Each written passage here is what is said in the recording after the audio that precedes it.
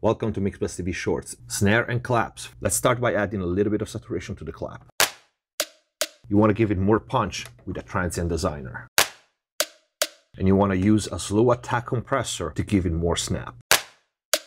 Now send both the snare and the claps to an aux. Find the lowest fundamental frequency of the snare and give it more body. Remove some of the harshness. It can be between 1K and 6K depending on the sound.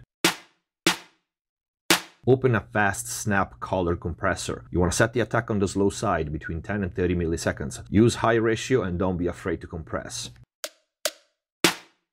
To contain the peaks, use a clipper.